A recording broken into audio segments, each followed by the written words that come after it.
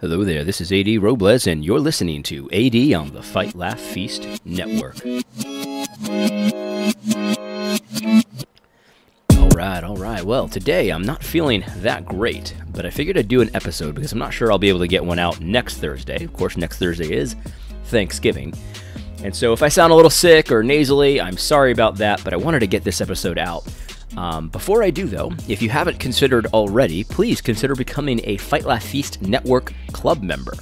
Not only do you get access to all kinds of exclusive content, you get discounts on merchandise, and also the most important thing, I think, is that you get to support the content that you find very, very helpful. It is time consuming and expensive to make the kind of content that Fight Laugh Feast puts out. We're glad to do it, we love doing it, and uh, it's in, in a lot of ways a labor of love. But of course, we do want to make sure that we are being responsible with our time, um, providing for our families, that kind of thing. So, any um, bit of support that we get goes a whole long way. A whole long way. Does that does that make any sense? I don't know if that makes any sense, but I certainly think that we're having an influence. Uh, I'll, I'll tell you that right now. The kind of content that we put out is very hard to find other places. There are other people doing it, but we're not going to give you the milk toast stuff. We're going to talk to you directly, like like like we're, we're going to respect you enough that we don't have to sugarcoat things, right?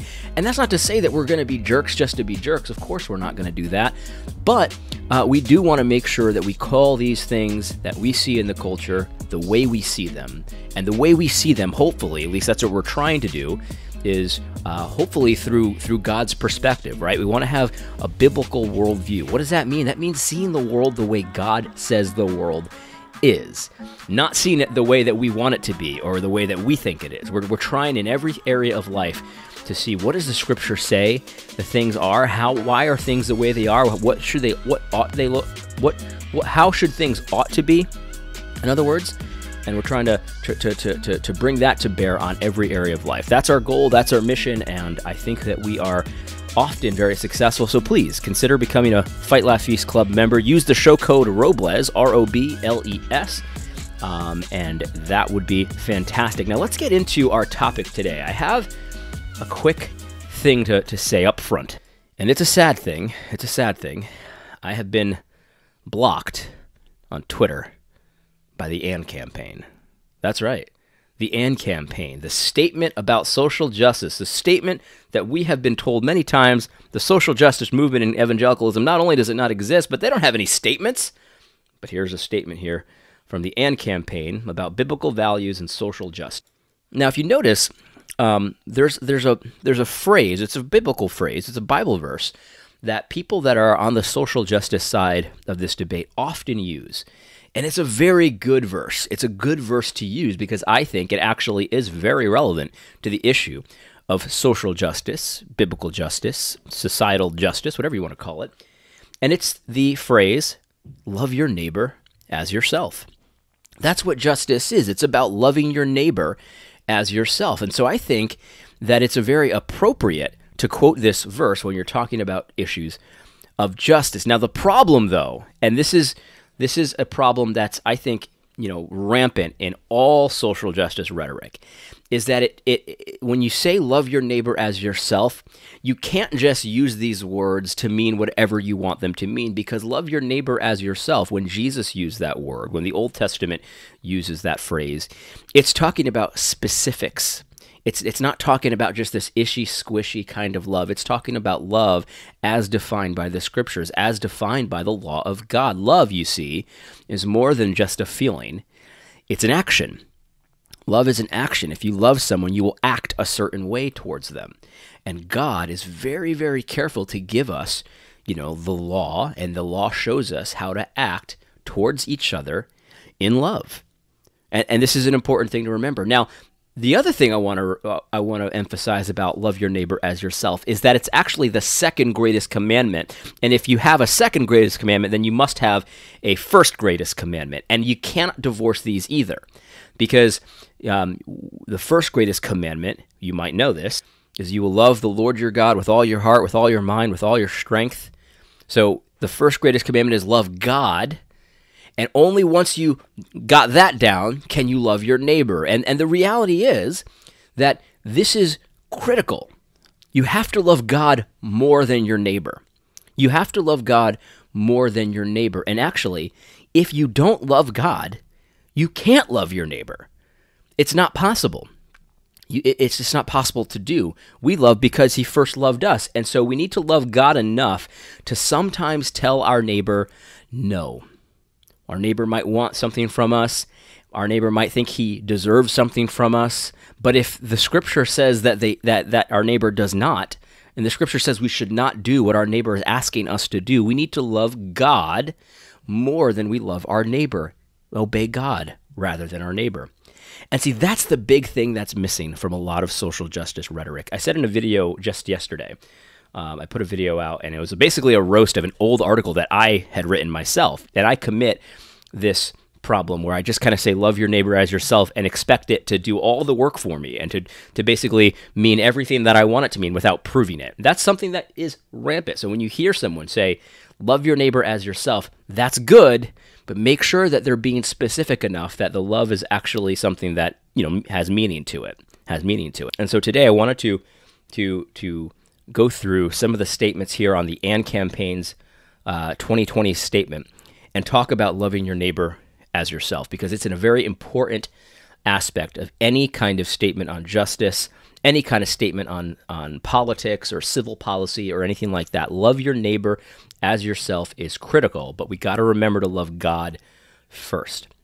Let's look at the AND campaign's mission statement. Here's what it says it says to educate and organize Christians for civic and cultural engagement that results in better representation, more just and compassionate policies, and a healthier political culture. That certainly sounds like a pretty good mission right? That certainly sounds like a pretty good mission. Let's get into the nuts and bolts of it, though, because that's really where, you know, that's where the rubber meets the road, right? This is where we, we really get down to what they're talking about because a lot of those words you might be thinking, you know, just, compassionate, you know, things like that.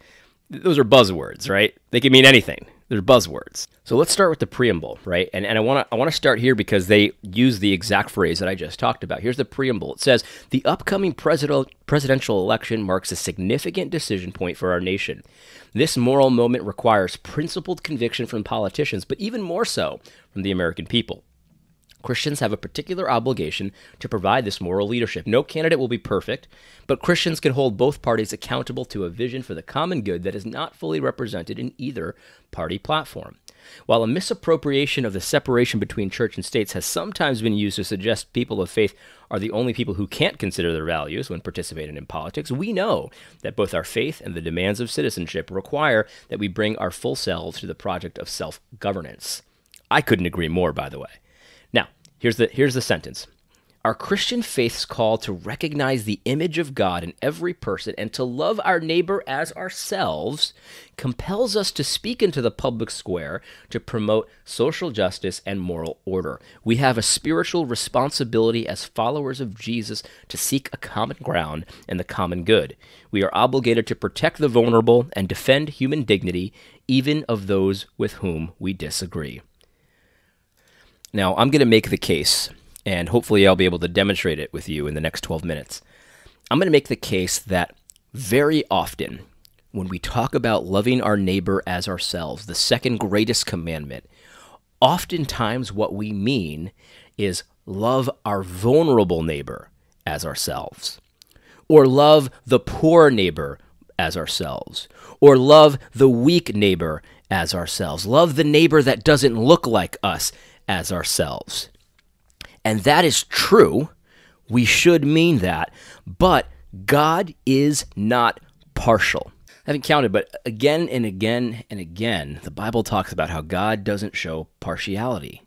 He just doesn't. There is no partiality with God. And so we shouldn't show partiality either. And so when we say love your neighbor as ourselves, that's all neighbors, right? So that's poor neighbors and rich neighbors. That's white neighbors and black neighbors. That's the oppressed class and the oppressor class. So, however you want to say it, everyone needs to be treated with impartiality. We need to love rich people the way we would love ourselves.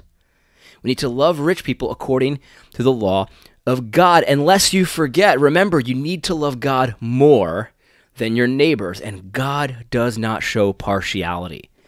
And so we cannot show partiality. And this is crucial when, with the issue of justice because God's law reminds us again and again in a, in a court case, in a civil justice case, when we're deciding how the government should treat people, right?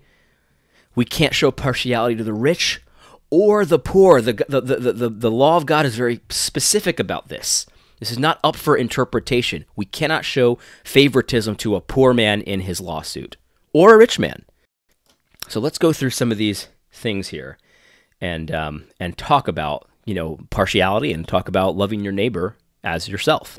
Here's Here's the, the section on the poor and pro family economic policies. Here's what it says this statement America can't disregard poor people in policy making. We need creative anti poverty policies that work in tandem with and not opposition to other institutions, including the family and the church. We believe in the dignity of work and that workers should receive a livable wage. Education should be accessible and equitable for all children. Paid le- family leave and enhanced child tax credits are both family oriented policies that relieve the burden on hardworking parents and create opportunities for them to invest more time and resources into their children and loved ones. In order for families and indeed the nation to thrive, women must be free from discrimination, harassment, and abuse. This all sounds really good, right? But what is really being said here? Let's just let's just take let's just take one of these things, right? We believe that every worker should receive a livable wage. What is being said there? So, what, what's being said there is they want to establish a high minimum wage. Now, let's just forget for a moment the fact that that will never work. I mean, the mathematics don't work on raising the minimum wage. All that does is make poor people poorer.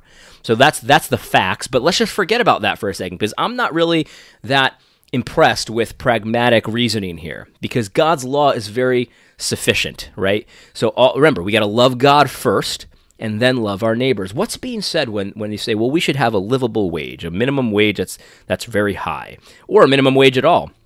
Well, what's, what's being said here is that the government has the right to tell a poor person what to charge for their labor and has a right to tell a rich person what they must do with their money. And both of those things do not come from the law of God. Both of those things are unjust. We should not show favoritism to a poor person or to a rich person. And so to tell a poor person you can't sell your labor unless you can somehow get $15 an hour for it, um, which is what a minimum wage law is, it's, it's basically saying it, it, like it doesn't magically make your labor worth $15 an hour. So if you can't make $15 an hour, then you're out of a job unfortunately. This is what every example of minimum wage laws shows us that, that people will find ways to have the cheapest, you know, cost for, you know, to, to make the most money that they can. There's nothing wrong with that. And so this will drive poverty up. And so we shouldn't have partial laws. We got to love our poor neighbors. Here's what it said. Listen to this one. Education should be accessible and equitable for all children. See, this is another thing. It sounds really good, right? Why shouldn't education be accessible and equitable for all? But the, but, but the reality is, this is an example of not loving our rich neighbors as ourselves.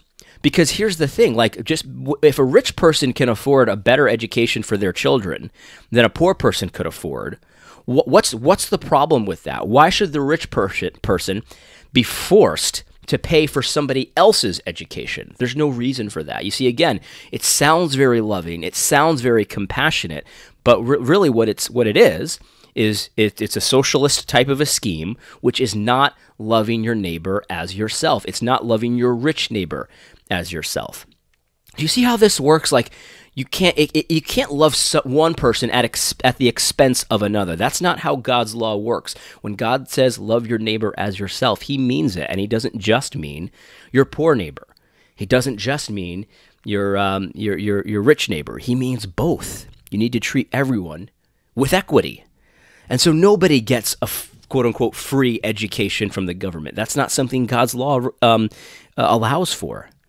There's no such thing as free, obviously, but no, but that's not something God's law allows for. Let's move on to something else. This is an interesting one too. Immigration, right? Here's immigration. The statement says the Trump administration has failed to treat undocumented immigrants with dignity and care especially at the U.S. Mexico border. In light of God's special concern for the immigrant and the sojourner, we are deeply dissatisfied with the federal government's continued negligence when it comes to passing comprehensive immigration reform.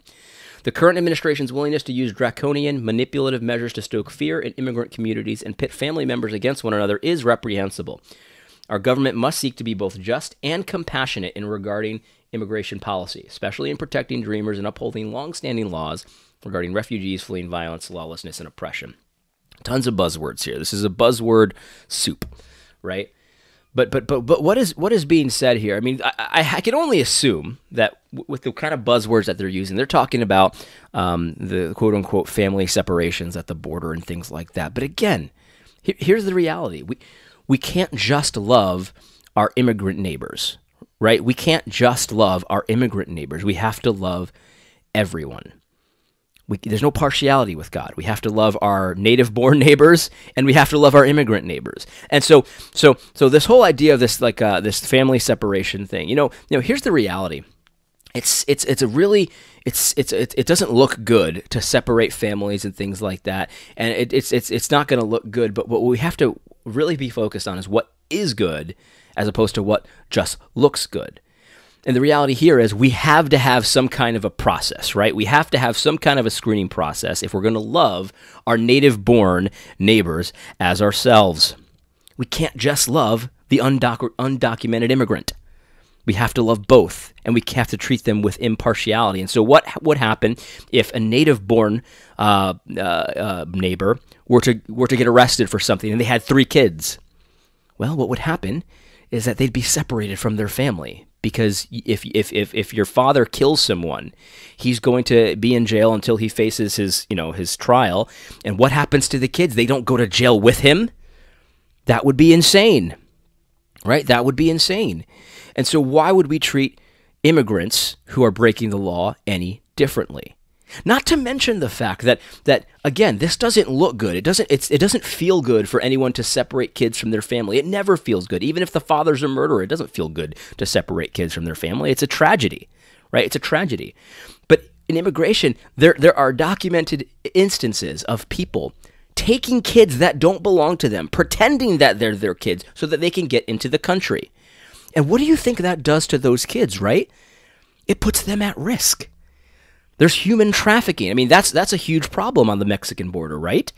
And so to stop them and say, we got to check this out because I know you say they're your kids and they might well be, but we need to check this out to make sure you're not trafficking these children, right? So, what about loving children as well as ourselves? You see, we can't just have this idea where we there's one class of people that we should love as ourselves and the other class of people they need to be put on hold because I get they, they're the oppressor class, I guess.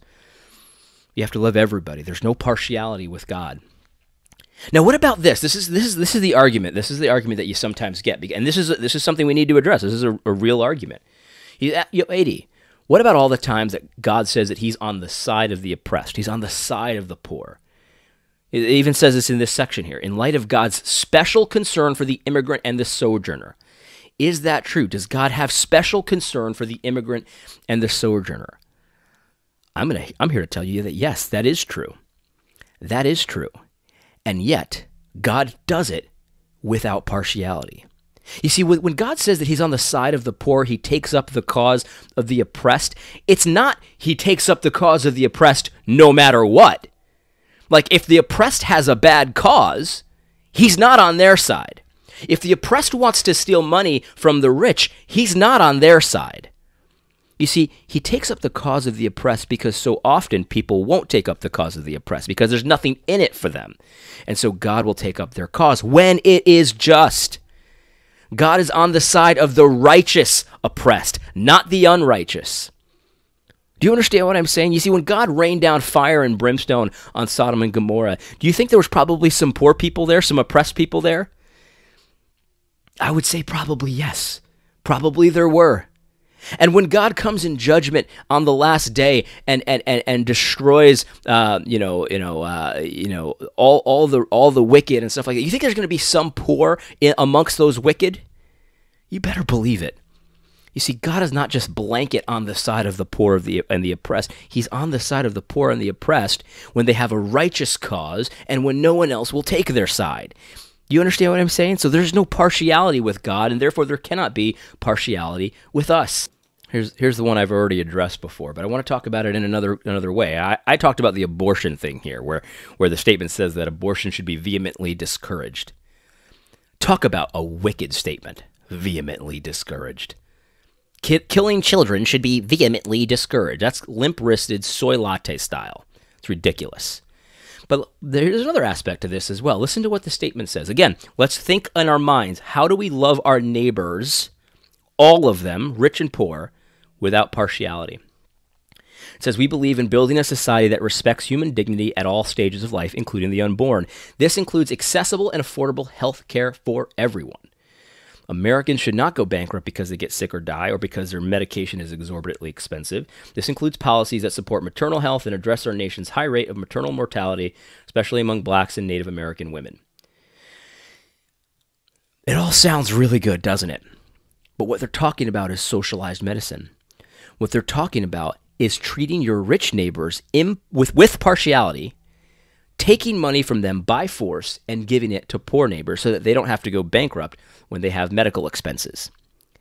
You can't love your poor neighbor at the expense of the rich neighbor. You have to love both without partiality. There is no partiality with God. We cannot steal from poor people. We cannot steal from rich people. We cannot um, show compassion to poor people at the expense uh, of, of showing compassion for rich people. We are required to be like God in this and not show partiality because there is no partiality with God. And, and while we do have to focus on loving our neighbor as ourselves, we first and foremost must love God, or we don't have any idea what it is to love your neighbor. Now, here's the, here's the rub because all of this flowery rhetoric all of these buzzwords and things like that, and we know that they're talking about this from a political perspective, a governmental perspective, and all of all of this. Very few of these things are bad ideas, and in fact, I want to have a situation where poor people can afford health care as well. But I want to do it in a way that doesn't show partiality. I want to do it where the church provides charity and compassion on people and they help them. I mean, I'm, I'm part of a, of a healthcare share where people help me pay for my healthcare bills because they're too expensive for me. And you know what? They do it voluntarily. All I have to do is write them a letter and ask them for it. And you know what they say? They say, sure. I remember my wife was uh, pregnant with uh, with my second son, and and the pregnant. You know, if you've ever paid for a, a delivery, it's thousands and thousands of dollars. And I wrote a letter I wrote a letter to my fellow Christians and I said, hey, here's the cost. We got a discount because we're cash customers, but it's still thousands upon thousands of dollars. And you know what? People started sending me checks. And they started saying, Congratulations on the new child. Congrat Ezra, that's a great name. Here's some cash. And you know what? That's what the church is all about, man all about having compassion on the sojourner and the poor. And we can do it without partiality. We can do it without hating our rich neighbors. We can do it out of out of out of love for Christ because Christ commanded that we do these things. He didn't command that we get other people to do these things. He didn't command that we take from others in order to do these things. He said you do it. You see the, the story of the good Samaritan, we get it all twisted up. We get it all twisted up because we want to be like that Samaritan, right? And we want to help someone that needs help. We don't want to be like the priest or the other guy, the Levite. We want to be like the Samaritan who helped someone who needed help, right? But we get it so twisted up that somehow in our jacked up minds, we think we're doing what the Samaritan did when we vote for policies that take from our neighbors in order to take care of people that are hurt on the street. And we're like, and we feel like we're Samaritans. You're not. You're showing partiality. You're, you're hating your neighbor when you vote for that kind of stuff. It's just that simple. You see, love your neighbor as yourself is a good starting point, but it's only the beginning. In fact, it's I, I should take that back. It's not the beginning. The beginning is loving God. And God, if you love God properly, what does it say in the Bible? How do you abide in Christ's love? Can you can you finish the sentence? How do you do it? How do you abide in Christ's love? by doing what He commands.